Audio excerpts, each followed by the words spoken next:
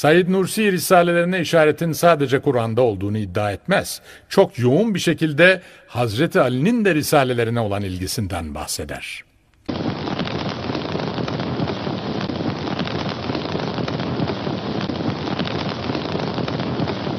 Hazreti İmam Ali radıyallahu an bir defa yıldızımı parlat fıkrasıyla, bölümüyle ahir zamanda Risale-i Nur'u dua ile Allah'tan niyaz eder, ister. Birden bir ihtar gaybi, gaybi bir uyarı gibi kalbime denildi. İmam Ali radıyallahu an Risale-i Nur'la çok meşguldür. Mecmuundan, tümünden haber verdiği gibi kıymetdar risalelerine de işaret derecesinde remz edip ima ediyor. Eğer sarih, açık bir surette gaybten haber vermek çok zararları bulunduğundan hikmete münafi olduğu cihetle hikmet-i ilahiye tarafından yasak olmasaydı tasrih edecekti. Açıkça söyleyecekti.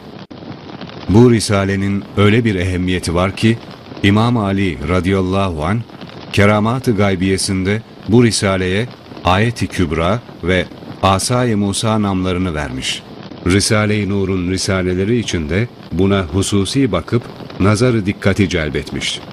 Ve madem Hz. İmam Ali radıyallahu an Siracun Nur'dan zahir bir surette haber verdiğinden sonra ikinci derecede perdeli bir tarzda sözlerden, sonra mektuplardan, sonra lemalardan, risalelerdeki aynı tertip, aynı makam, aynı numara tahtında kuvvetli karinelerin sevkiyle kelam, delalet ve Hz. İmam Ali radıyallahu anh'in işaret ettiğini ispat eylemiş. Hz. Ali radıyallahu an Ercuze ve Celcelutiyesinde Risale-i Nur'u alkışlıyor, haber veriyor. Ve müellifiyle konuşuyor, teselli ediyor. Hz. İmam Ali radıyallahu an hem Risale-i Nur'dan hem çok ehemmiyetli risalelerinden manayı hakiki ve mecazi ile işari ve remzi ve imai ve telvihi dolaylı ve üstü kapalı bir surette haber veriyor. Said Nursi'nin iddialarına göre Hazreti Ali gayb bilgisine sahip olmakla beraber güya Risale-i Nurları Allah'tan istemiş, hatta bazı risalelerin adlarını dahi kendisi koymuştur. Hazreti Ali şehadetiyle bitecek olayların bile sonuçlarını kestirememişken kendisinden yüzyıllar sonra gelecek bir adamdan ve onun risalelerinden haber verecek. Üstelik onca sıkıntısının arasında oturacak, ebced ve cifr hesapları yaparak kelimelerin Süryanicesini de göz önüne alıp şifreli, gizli bir şekilde kaside yazacak. Şüphesiz ki bunlar mümkün değildir. Bu iddialar Hazreti Ali'ye atılmış birer iftiradır. Unutmayın gaybı sadece Allah bilir.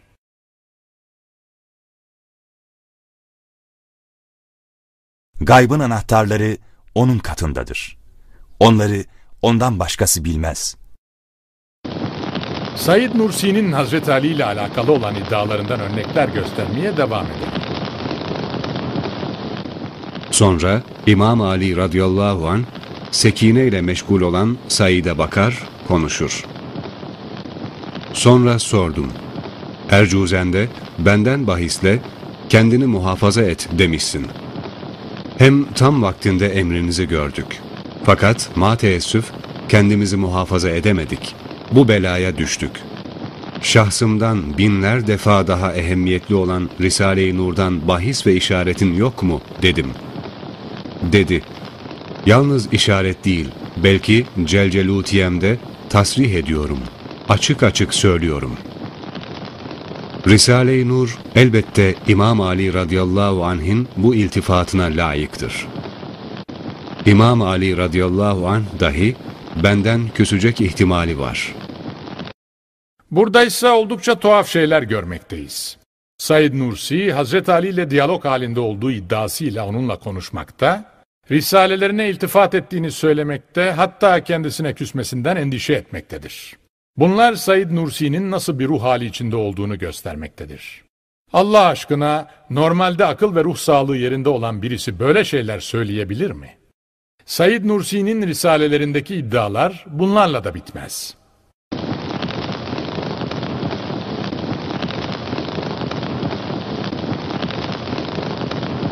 Madem Celcelutiye vahiy ile Peygamber aleyhissalatu vesselama nazil olmuş. Hem madem Celcelutiye'nin aslı vahidir ve esrarlıdır ve gelecek zamana bakıyor ve gaybi umuri istikbaliyeden, gelecekteki bilinmeyen olaylardan haber veriyor. Ve madem sarahat, açıklık derecesinde çok karine ve emarelerle Risale-i Nur, Celcelutiye'nin içine girmiş, en mühim yerinde yerleşmiş. İmam Ali radıyallahu an gayb aşina, gaybı bilen nazarıyla bu risaleyi görmüş, Kaside-i Celcelutiyesinde bu risalenin ehemmiyetine ve makbuliyetine işaret edip Ayetül Kübra hürmetine bizi musibetten koru fıkrasıyla, bölümüyle onu şefaatçi yaparak dua etmiştir.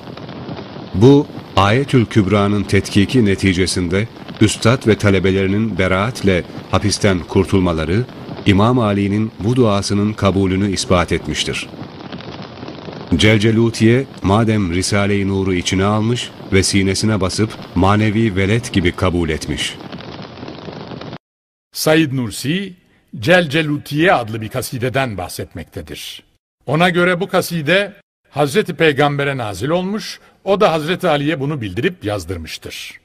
Said Nursi bu kasidenin ne isnadını ne de kaynağını vermiştir.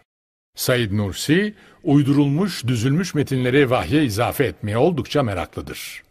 O, bir şeyin vahiy olup olmadığı konusunda ilmi disiplinden ve ciddiyetten o kadar uzaktır ki, işine gelen her metni vahiy diye takdim etmeye hazırdır.